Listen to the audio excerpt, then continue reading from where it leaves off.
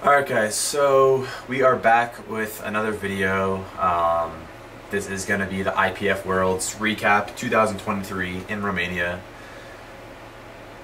I did it downstairs last time and now I'm upstairs. I don't know, I just wanted a little different change, change of scenery.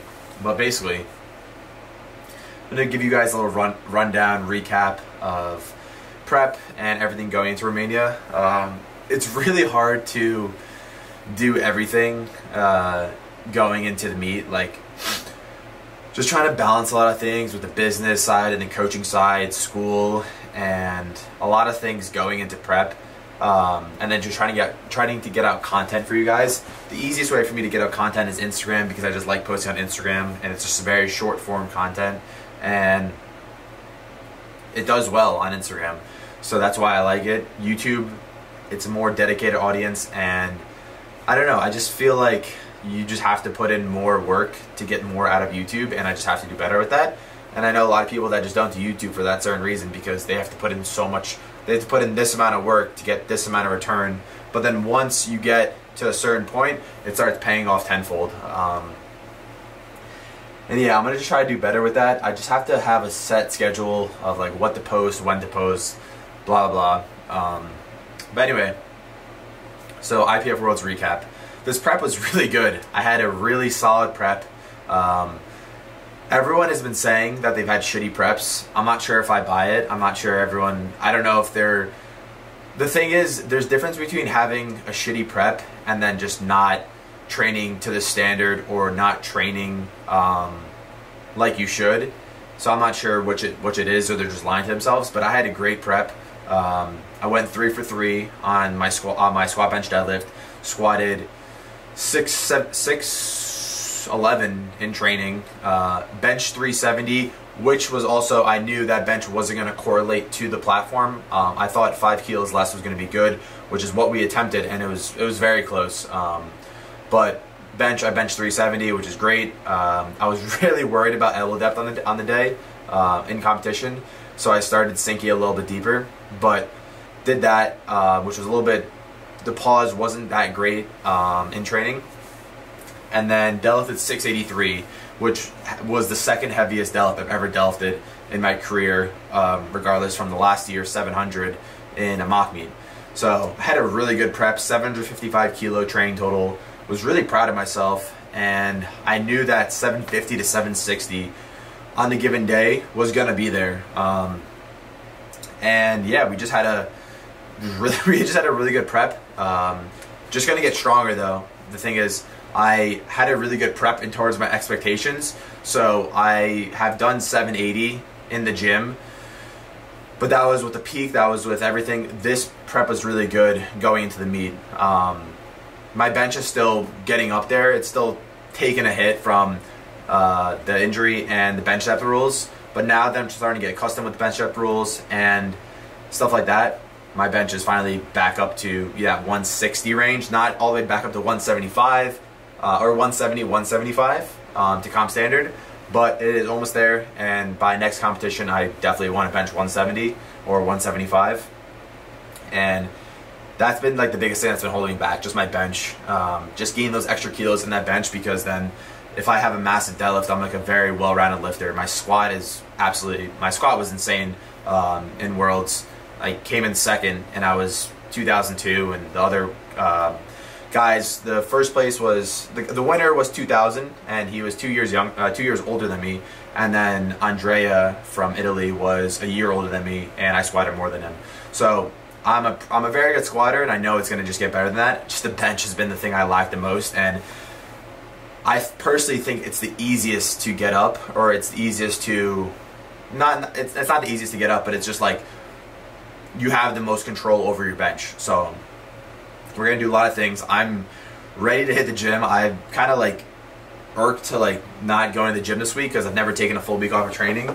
I am to go to the gym today because I'm doing a challenge, and I'm doing that's this is a whole nother story. But I'm doing a challenge today, 5,000 reps to the bar on bench press, and we'll see how that goes. I'm not sure if I'll be able to complete it, but we'll see. I'm to try to live stream the whole time, the whole thing.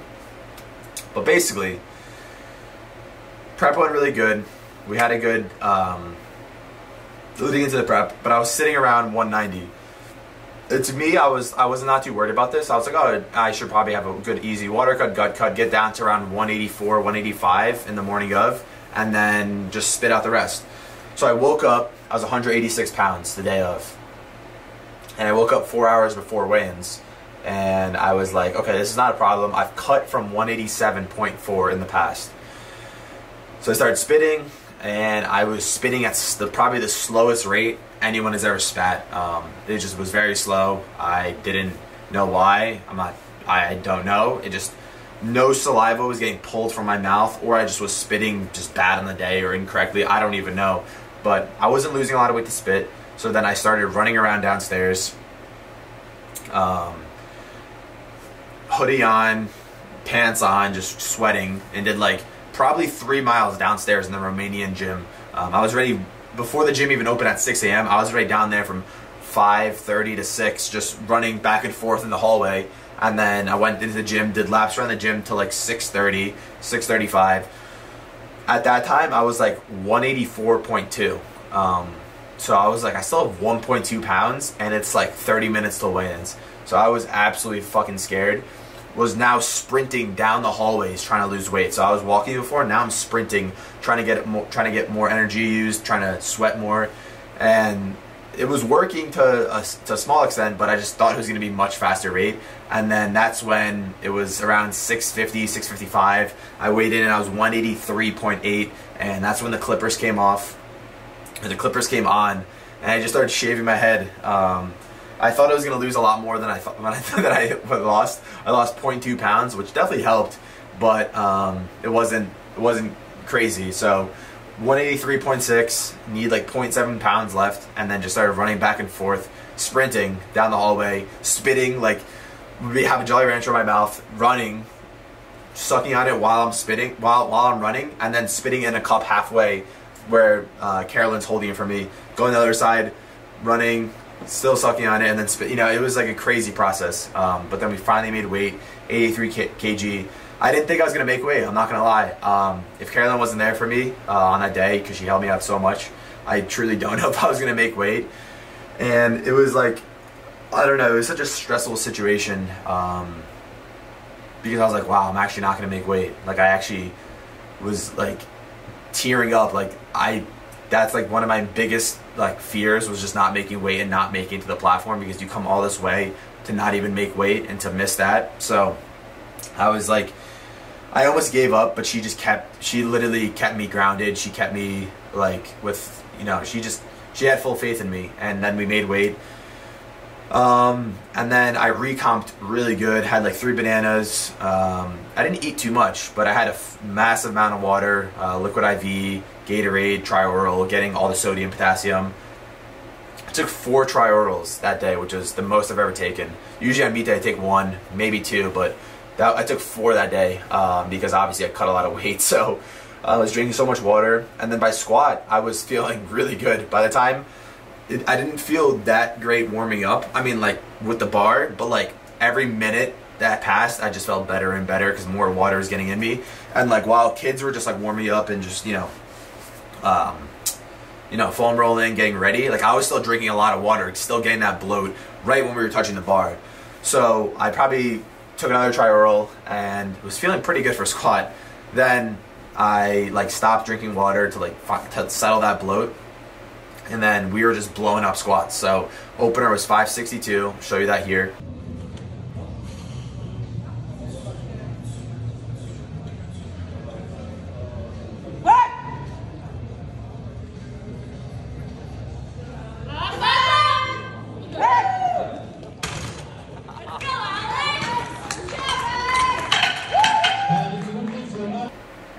Absolutely blew that up. Like once I squatted that, I was like, oh, we're gonna have a great squat day. Um, I mean, I was like, yeah, squat's gonna go really good today. And now I know, now I know, just like being bloated for squat or that bloat that I felt with all that sodium, potassium, and water, just it, it makes me feel really good for the squat. You just have to get to that level of bloat and then let it settle for around five to ten minutes, and then start squatting, and then getting a little bit of movement in there. Um, so we took that and then we took 595 here.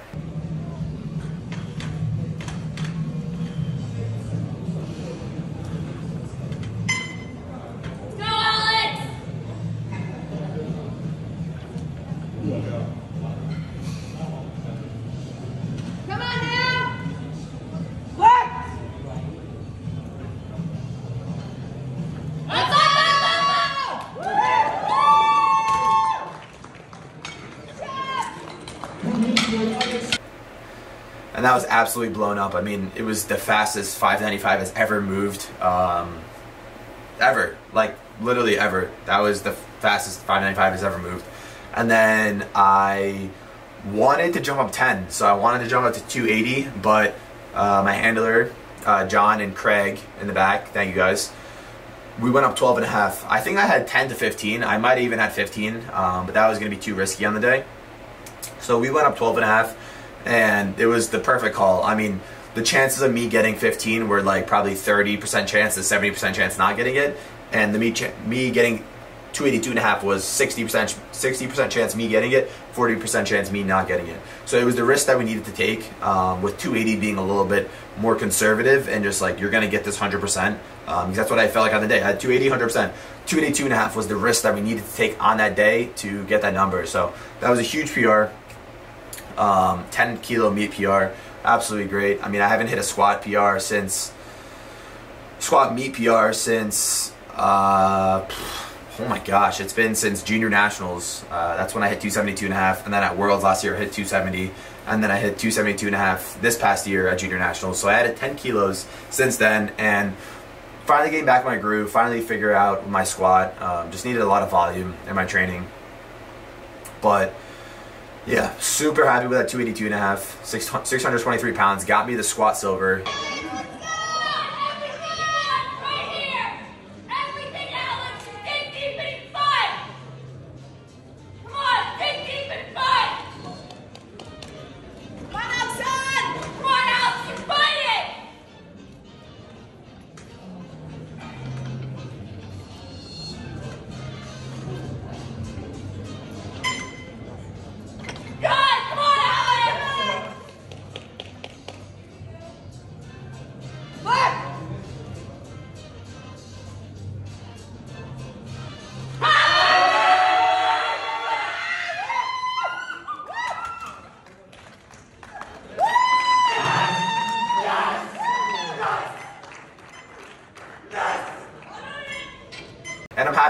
Obviously, I'm like, you know, I can't be not happy with that. I obviously wanted to place top three um, because once we saw the projections, one and two was pretty out of the mix. Just got to get that bench up because if I get the bench up, we're right in the mix. But first and second around the mix, but third was definitely in the mix if I had the day that I wanted. Um, but basically, bench was or squat went good. Then we went for bench. Bench felt good. I was just really worried about elbow depth and I'm not sure what to do that, what to do in the future. I guess we'll combat that when it comes up. But I'm assuming just trust yourself that it's gonna pass. I'm just nervous. The only thing I'm nervous about is if it doesn't pass on the first attempt to go up and then take something heavier and sink it more. Um, so we're just gonna be always training to standard, just training more than I usually do, and that's how I train with my squat. I sink the shit out of my squats because I never want to get called on squat depth and I'm the strongest squatter basically at, in our weight class. Um, you know, so uh, I'm gonna probably just have to, you know, sink, not sink my benches, just you know, we'll hit elbow depth and just be confident that every single time I do that, it's gonna be elbow depth. Because in the style that I used to bench was, you know, very high arch, very limited range of motion, but that was to, that was for the rules, and that was to lift to lift as much to lift as much as possible. Now it's the game where you have to lift a standard, and if you don't lift a standard, you're going to be losing kilos on your total, and I think that's very huge in powerlifting. So we're going to make sure we combat that, but basically I took 150 for an opener, three white lights.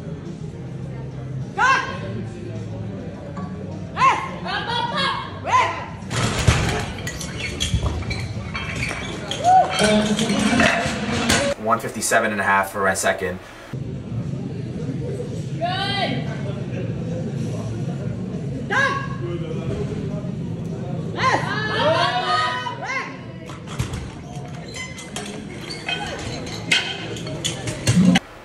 Now this is the thing that maybe we should have gotten 160 for the second, gotten 160, and then taken a two and a half kilo jump, and then you know maybe not have gotten that, but getting that two and a half kilos extra from that second, you know, instead of taking 157 and a half, take 160 to get that two and a half extra. It helps you out because maybe for me, I am, I usually don't get my third attempt bench press. I usually die out by my second attempt, and I, my second attempts look pretty easy. So 347 looked pretty easy. I thought 350 358 was going to be there that day. It just unfortunately wasn't. Um, but maybe that's the thing to note that to take that middle range on that second and just, you know, that third will always be chipped to two and a half. Because if we take 155 in the second, we're going to just jump to 160. So just things to note. Um, but yeah, I wasn't happy. I wasn't um, upset with the 157 and a half. I was just thinking maybe we should take 160. But then if you fail 160, you're left with 150. Um, so just things to take uh, note in the future. And yeah, so then we ended up failing 162 and a half, which was unfortunate. It was very close though, but just gotta get stronger. Come on, 15. grind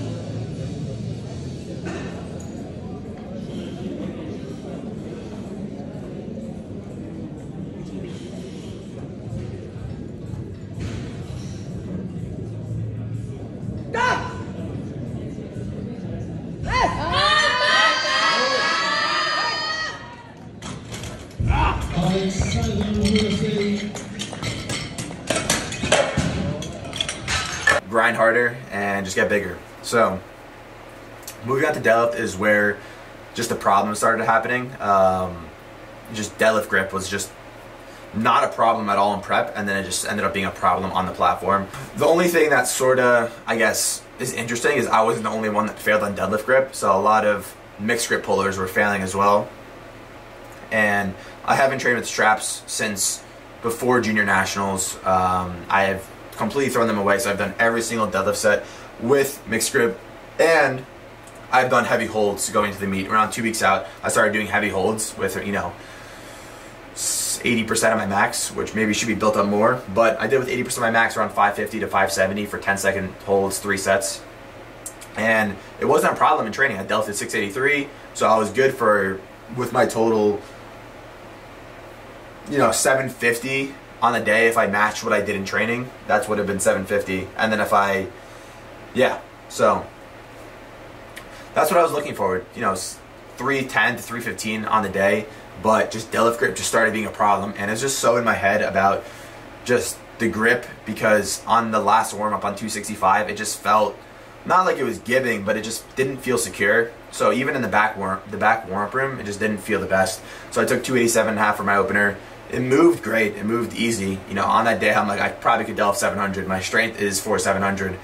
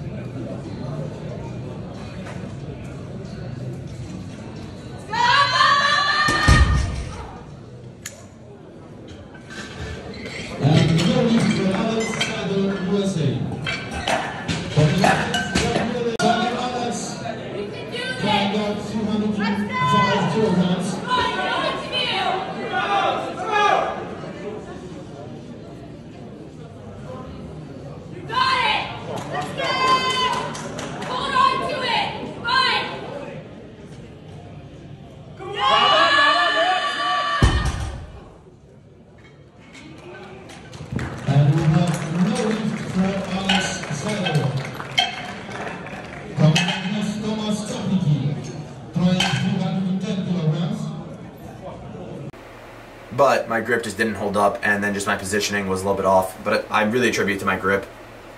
So we're just gonna have to fix that going forward, whether it's just doing more holds or just switching to hook grip. I have wanted to switch to hook grip for quite a while now, and now that mixed grip doesn't seem so not efficient, it just doesn't seem like it's like working anymore. Uh, because at these high level meets, we gotta just be perfect. I think hook grip may be the way to go. So this next cycle, I probably will be trying hook grip. Pro probably because maybe um, because I tried in the past.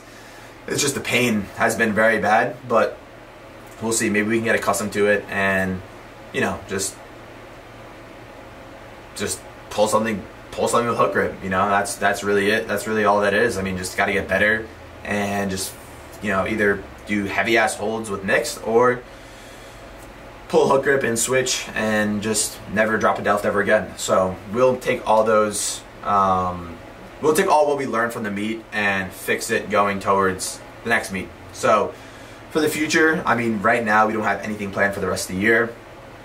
Next year we are so Open Nationals is in March and tied with University Nationals, and then Junior Nationals is in May 15th. So Open Nationals in Nevada, and University Nationals in Nevada, and then Junior Nationals is in Texas. So we're not sure. Me and Kyler are not sure what we're doing yet.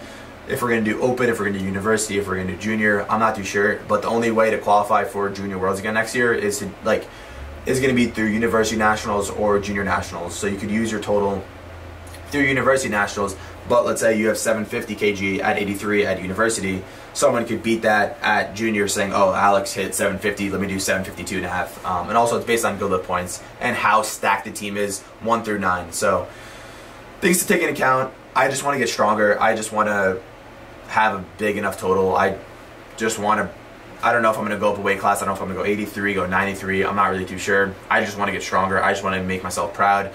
And yeah, that's basically it. So that was my junior nationals recap. Meet went decent overall, but we just got to fix the grip because just fix the grip and get stronger. That's basically it. So yeah. Thank you guys for watching. Appreciate you guys. I will be doing more content, hopefully. Getting it back in the train next week. And yeah,